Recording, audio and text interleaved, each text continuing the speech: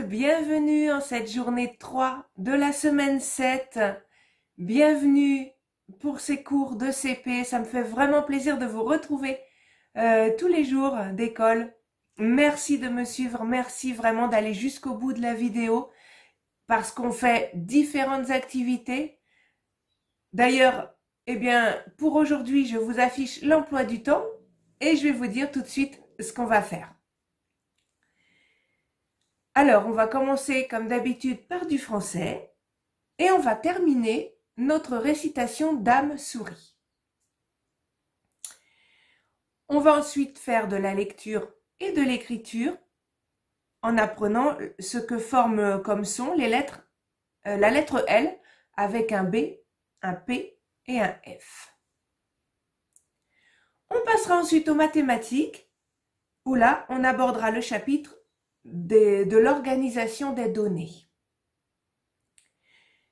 Ensuite, on continuera avec de la science et on parlera du corps humain. Après quoi, eh bien, on terminera par une activité dessin que je vous demanderai de faire. Voilà pour aujourd'hui. Voilà tout ce qu'on va faire. Eh bien, si vous êtes prêts les enfants, on va commencer tout de suite. Allez, je vous redemande demande de reprendre avec vous la récitation Dame Souris. Si vous l'avez sous les yeux, c'est très bien. Sinon, de toute façon, je vous mets à l'écran la strophe que l'on va apprendre aujourd'hui. Donc, la troisième strophe. Alors, troisième et dernière strophe de ce poème. Je la lis avec vous Allez. Dame souris trotte, rose dans les rayons bleus. Dame souris trotte, debout, paresseux. Allez les enfants, je vous demande de l'apprendre par cœur, celle-là. D'accord? Vous m'apprenez par cœur cette strophe et vous allez l'écrire dans votre cahier. Alors, demandez à l'adulte qui est avec vous de vous écrire la date si vous ne savez pas le faire tout seul et recopiez cette strophe. Je vous mets le modèle à l'écran avec les lignes pour euh, que vous ayez ne, pas dépasser. Hein. Euh, faites bien attention. D'accord? Allez-y, mettez en pause la vidéo. apprenez par cœur cette euh, strophe, récitez-la et recopiez-la. D'accord? Je vous retrouve tout de suite après pour la lecture.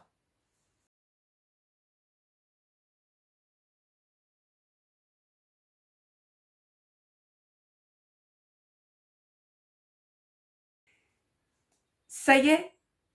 Tout est bon? Vous, avez, vous la connaissez par cœur? Vous l'avez bien recopiée? Très bien, super.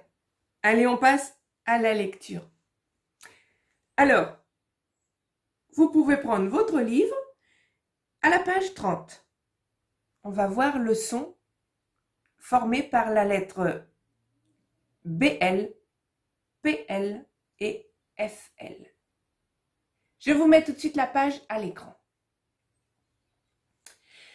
Alors, hier, donc jour 2, on avait, et jour 1 aussi, on avait appris ce que formait comme son une lettre accompagnée de la lettre R.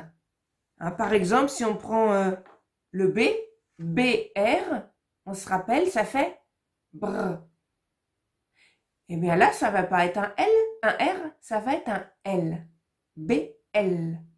Ce qui va nous faire BL. D'accord?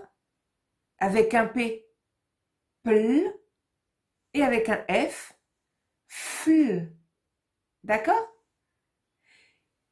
Essayez tout seul de lire les petits, les petits mots. Si vous n'y arrivez pas, c'est pas grave, on va le faire ensemble après. D'accord? Essayez tout seul les enfants de le faire. Et je vous retrouve tout de suite après, on le fait ensemble. Allez-y, mettez en pause et, et essayez.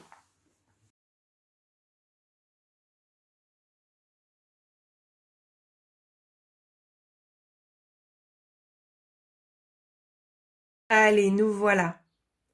Alors, est-ce que vous y êtes arrivé? Je pense que oui, c'est pas difficile en fait. Bon, on va le faire ensemble. Donc, si on, on rappelle, hein, b, bl, pl, fl. Si on rajoute un a, plat, un et, blé. Ah, vous vous rappelez ce que fait le E et le U? Quand est-ce qu'on avait vu ça? On avait vu ce son EU. On avait vu ce son le jour 4 de la semaine 6. Rappelez-vous, semaine 6, jour 4, et on avait vu que E et U faisaient tout simplement le son E. Alors, fleu, tout simplement, avec un i, B-L-I, bli. P-L, rappelons-nous ce que forme ce son. Ça fait en, A-N, plan, flot, plus et flé. D'accord? Alors, si vous, vous ne rappelez plus de certains sons, hein, comme euh, en, e et, les autres sons, euh, bah, reprenez les vidéos d'avant, hein, reprenez-les pour bien se le mettre en tête. Allez, on continue. Planche. Planche. Me bleu, meuble.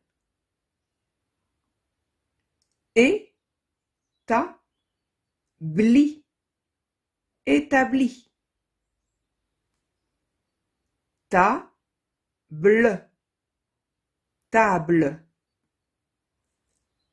Flûte, flûte. Plâtre plâtre plume. Plume. Trèfle. Trèfle. Flacon. Flacon. Ta ne. Platane.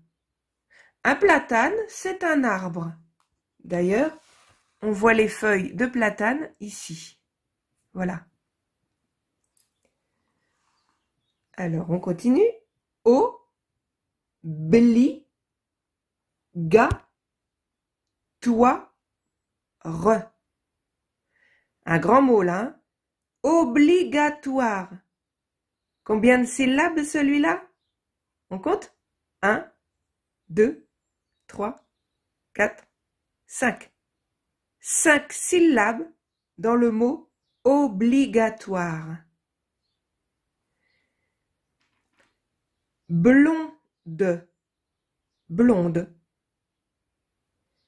Flétri, flétri. Un, fleuve, un fleuve. Un fleuve, c'est une très grosse rivière. Une fable, une fable. Je pleure, je pleure. Je plante un pain. Je plante un pain. Un pain, c'est de la famille des sapins. Hein. C'est comme un sapin, un pain. Euh, j'en suis où? Le feu ronfle. Le feu ronfle. Du sable fin. Du sable fin. La plante fleurira. La plante fleurira. La meunière, la meunière moudra le blé. La meunière moudra le blé. De la doublure blanche. De la doublure blanche. Flora a trouvé son problème seul. Bravo, Flora. Je répète toute cette phrase. Flora a trouvé son problème seul. Bravo, Flora. Voilà tous ces petits mots. Alors, on commence à aborder des chapitres un peu plus difficiles. Il y a beaucoup de sons à se souvenir. Donc n'hésitez pas à retourner voir euh, les lectures des, vidéos d'avant, simplement les lectures. Si vous avez des difficultés, retournez voir ces vidéos. Euh, on n'avance pas si on ne sait pas. D'accord? Il faut être capable d'avancer. C'est-à-dire qu'il faut d'abord se rappeler de tout ce qu'on a vu avant pour en apprendre d'autres. Pas la peine. Là, je m'adresse aux parents. Pas la peine de faire avancer votre enfant euh, s'il ne suit pas, si les leçons d'avant ne sont pas acquises. D'accord? Allez à son rythme. Allez, on va passer à la lecture en écriture cursive. Et là, les mots donc ne sont plus découpés en syllabes. Le flacon. Le flacon. La planche. La planche. Du plâtre. Du plâtre. Je plante un pain. Je plante un pain. On l'avait vu tout à l'heure ici. Je plante un pain. On le retrouve ici en écriture cursive et non découpée. Flora a du ruban bleu de la doublure neuve. On répète cette phrase qui était longue. Flora a du ruban bleu, virgule, de la doublure neuve. André a semé du trèfle planter un platane. André a semé du trèfle planter un platane. Voilà pour la lecture. Eh bien, on va passer tout de suite à l'écriture. Alors, on reprend notre ardoise, toujours du côté blanc pour s'entraîner. On va commencer avec le B. On se rappelle comment faire B? Donc, on commence comme un L, mais on va faire une petite boucle. Et on va l'enchaîner, cette petite boucle, directement avec un L. D'accord? Ensuite, on va faire un PL. Alors, on se rappelle comment on fait un P et on l'enchaîne avec un L. Et puis, on va passer au F. F. On enchaîne avec le L. D'accord, les enfants? Allez, faites-moi tout ça. De toutes les tailles, entraînez-vous. Et on en fera bien sûr plus tard sur le cahier. Allez, faites-moi tout ça, mettez en pause et je vous retrouve ensuite pour les mathématiques. Allez, nous voilà arrivés aux maths. On va parler de l'organisation des données. Qu'est-ce que c'est? On va bientôt parler, aborder le chapitre avec des petits problèmes.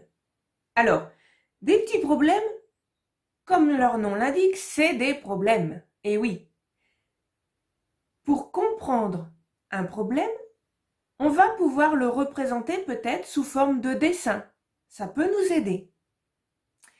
Ou alors, de, de dessin, de schéma. Ou alors, pour pouvoir calculer plus rapidement, on va aussi organiser nos informations. Et pour ça, eh bien, on va euh, fabriquer des petites boîtes représentées soit dans notre tête si vraiment on est très fort, ou sinon euh, sur une ardoise, sur un papier brouillon, représenter, euh, détacher les éléments, les représenter pour pouvoir calculer plus rapidement. Alors, pour mieux comprendre, je vais vous mettre un exemple à l'écran. Voilà une image. Une image avec des plein d'enfants qui courent, qui jouent dans la cour de récréation. Regarde bien et compte les enfants. Première question, est-ce que c'est facile de compter les enfants? Pas forcément, hein. Il y en a dans tous les sens.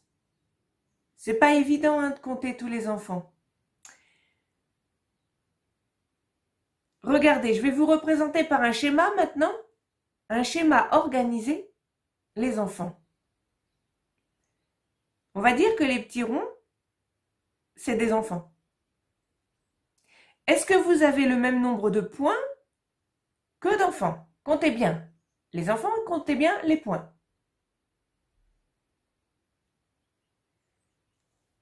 Alors, oui, vous avez trouvé le même nombre. C'est ça. Quel est le plus facile à compter?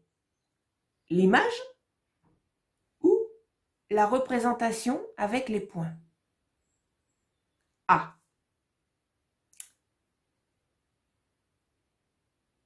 Peut-être que vous pour vous, c'est pareil. Et pourtant, regardez bien, les points, ils sont mis par 5. Regardez, je vous entoure. 5, 5, 5 et un tout seul. On a trois fois 5 déjà. C'est plus facile. 5 plus 5, ça fait 10. 10 plus 5, ça fait 15. 15 plus 1, ça fait 16. D'accord? Alors, on a pris dans l'image tous les enfants et on les a rangés, on les a organisés pour aller plus vite à compter. Vous allez bientôt apprendre. Regardez, on peut faire 5, 10, 15, 16. Ça va plus vite, non? Je vais vous apprendre à ranger tout, tout ça maintenant. Alors, je vous mets une feuille à l'écran et vous allez me ranger, premièrement, les billes dans les sacs. Je veux des sacs de 5 billes, comme on a vu tout à l'heure. Alors, rangez-moi les billes dans les sacs, 5 dans chaque sac. D'accord? Et puis le petit écureuil, il a été chercher des noisettes, mais monsieur n'a rien rangé du tout. Il a tout laissé en vrac. C'est facile à compter, ça? Bah non, hein Alors je vais vous demander bah, de les ranger pour, pour lui. Rangez-moi dans le meuble en dessous, dans les cases en dessous, toutes ces noisettes. Pareil, cinq dans chaque case. Est-ce qu'il y aura une case qui n'en aura pas cinq? Vous allez me le dire après. D'accord? Alors, recopiez hein, cette feuille euh, vite fait sur, enfin au moins, les sacs et puis euh, les cases et, et, rangez tout ça. Si vous avez mon livret, bien sûr, faites-le directement dessus. Ah, je vous rappelle, vous pouvez me le demander gratuitement à l'adresse mail qui s'affiche en dessous. Je le fournis au format PDF. Voilà. Je vous laisse mettre en pause. Rangez-moi les billes dans les sacs. Rangez-moi les noisettes dans les cases. Et, je vous retrouve pour la correction.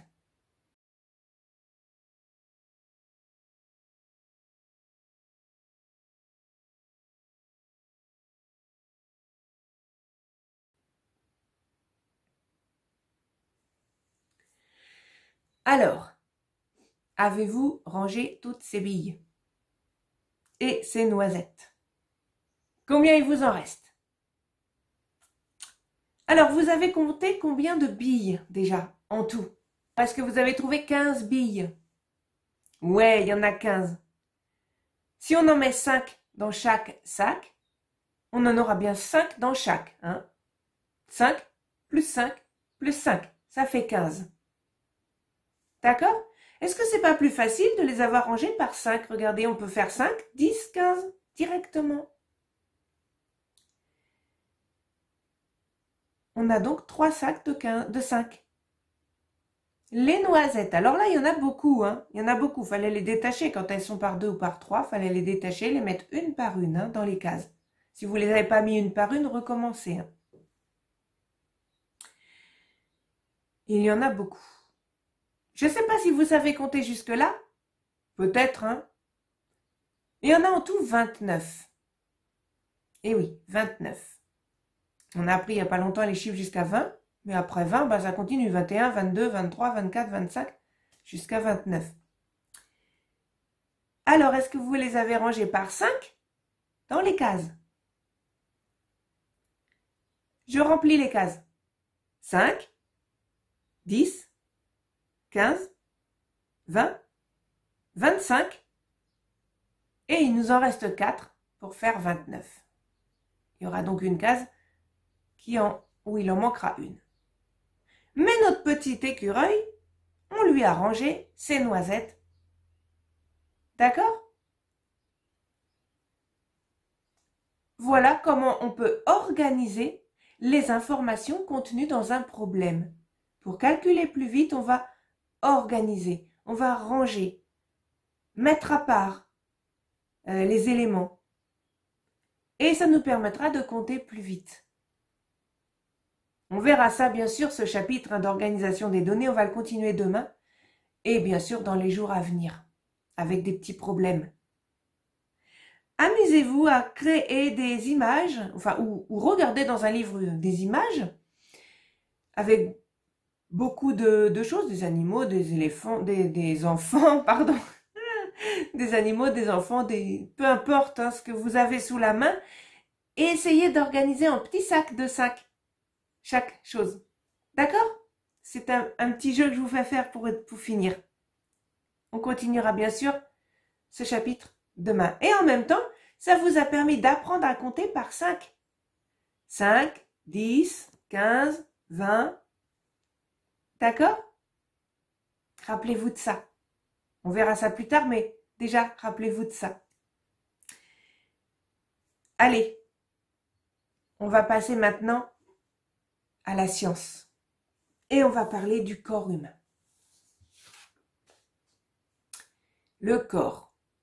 Tout votre corps. Vous, vous êtes comment? Qu'est-ce que vous avez comme membres? Les membres, donc, bras, jambes. D'accord? Alors, je vous ai mis, je vous, je vous mets à l'écran une petite fille et un petit garçon. Et voilà ce qu'on va voir. Et c'est écrit donc tout, euh, tout ce qu'on va apprendre aujourd'hui. Il y en a beaucoup, mais je suis sûre que vous en savez déjà au moins la moitié. Au moins. Allez, on commence par la petite fille, parce qu'elle est vue de face. Tout ce qu'il y a dans son visage, vous connaissez déjà. Les yeux, alors on dit des yeux, mais on dit un œil. Hein, un œil. Les oreilles, les dents, la bouche et le nez. Je pense que ça, ça va pas vous avoir posé de problème. C'est quelque chose qu'on apprend en maternelle. Hein. Donc je pense que là, vraiment, ça n'a pas posé de problème. On passe à la suite. On descend un peu. Le cou. Le cou ou la gorge. Hein. Le cou derrière, la gorge devant. D'accord? Essayez de vous rappeler ça. Donc la gorge devant, c'est pas marqué, mais le cou c'est derrière. On descend un peu la poitrine. Ce qui est au-dessus du ventre. Entre le cou et le ventre, ça s'appelle la poitrine. Pour les filles comme pour les garçons. Un bras. Et oui, un bras. Une main. Je pense que ça, vous le savez. Hein. Ah Un peu plus bas, là. En dessous, en dessous le ventre. On a le ventre aussi. C'est pas écrit, mais on a le ventre. Hein vous savez ce que c'est, le ventre. Et en dessous, on a les hanches, une hanche. C'est l'os qui... Touchez votre hanche, c'est tout dur normalement. C'est tout dur. Il y a un os là.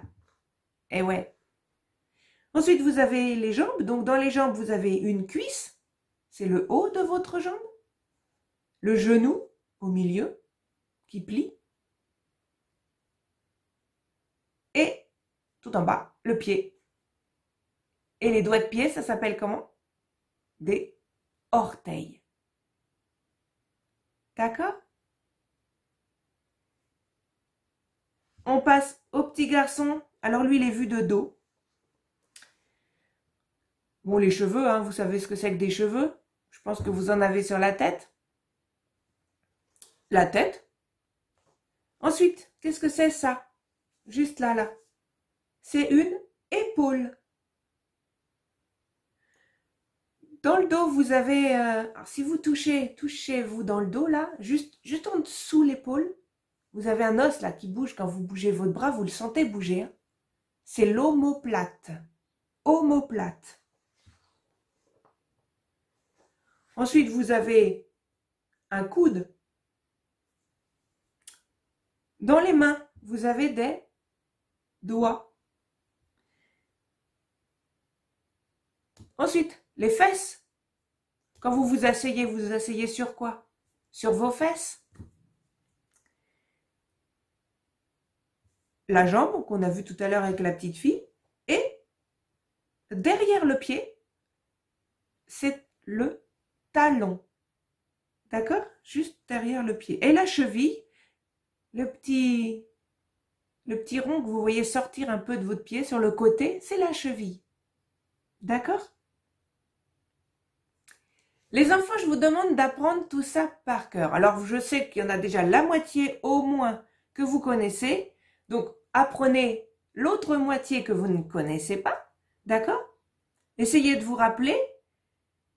Euh, remettez la vidéo en arrière quand je le dis si vous n'arrivez pas à lire tout seul les mots. Ou faites-vous aider, bien sûr, de votre maman, de votre papa, peu importe, ou mamie, papy, celui qui est avec vous, en fait. Hein euh, à travailler. D'accord? Apprenez ça par cœur. Je veux que vous sachiez euh, décrire tous vos membres, la les parties de votre corps. Pourquoi c'est important? Imaginez que vous, soyez malade, vous avez mal quelque part. Est-ce que vous êtes capable de dire au médecin où est-ce que vous avez mal? Parce que peut-être que vous avez mal à la jambe, mais la jambe, c'est vaste, c'est grand. Ça va, ça commence à vos, à vos fesses, euh, juste en dessous vos fesses, et ça finit aux pieds. Vous dites, vous dites au médecin, j'ai mal à la jambe. Ben oui, mais où à la jambe? Peut-être que c'est simplement le genou que vous avez mal parce que vous êtes tombé, vous avez mal au genou. Ben, le médecin sera content de savoir que c'est pas toute la jambe qui vous fait mal, mais seulement le genou. Il va pouvoir mieux cibler euh, et mieux vous soigner. D'accord? Voilà pourquoi c'est important. Et puis c'est important de le savoir, tout ça aussi. Hein. Allez, mettez en pause et apprenez-moi tout ça. Et puis je vous retrouve tout de suite pour euh, la dernière activité, dessin.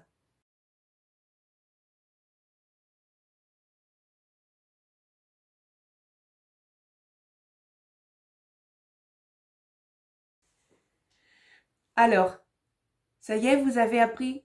Vous connaissez tout votre corps? Bon, tout ça c'est l'extérieur du corps. On apprendra l'intérieur du corps plus tard. Hein Mais pour l'instant, apprenez tout ça. Eh bien, pour finir, on va continuer avec ça. On va finir avec l'activité dessin et je vais vous demander de vous dessiner vous. Voilà. Alors essayez d'y mettre de la couleur, par exemple dans vos yeux. Vous avez les yeux quelle couleur? Marron, bleu? Pas faites, euh, mettez de la couleur. Les cheveux, quelle couleur vos cheveux? Est-ce qu'ils sont longs? Est-ce qu'ils sont courts? Essayez de faire ça. Et je veux qu'il y ait tous les éléments. Vous pouvez vous aider de la petite fille hein, qui est de face. Hein. Même si vous êtes un garçon, vous faites, voilà, vous pouvez vous aider quand même de la petite fille. Euh, pour vous dessiner, n'oubliez pas de membres, n'oubliez pas les bras avec le coude, n'oubliez pas les jambes avec le genou, N'oubliez rien, n'oubliez pas les pieds, n'oubliez pas les doigts. N'oubliez rien. Je veux un beau dessin de vous. Essayez de vous appliquer. Hein? Prenez pour modèle, si vous voulez, la petite fille. Mais vous, il faut que ce soit vous qui soyez dessiné. D'accord? Et puis, ce qui me ferait plaisir, bah, c'est que votre dessin, vous me l'envoyez, vous m'envoyez la photo de votre dessin sur l'adresse mail. Alors demandez à maman ou à papa, hein, bien sûr, de m'envoyer ça sur l'adresse mail. Ne l'envoyez pas tout seul. Il hein. faut que ce soit maman ou papa qui le fasse. Hein. Et je ferai bien sûr une vidéo, comme je l'ai dit souvent, avec tous vos, tous vos dessins. Ça me fera vraiment plaisir de vous présenter ça un jour. D'accord? Allez, c'est là-dessus que je vais vous laisser. Je vais vous laisser finir la journée avec ce dessin de vous et de tous vos membres. Et je vous dis à demain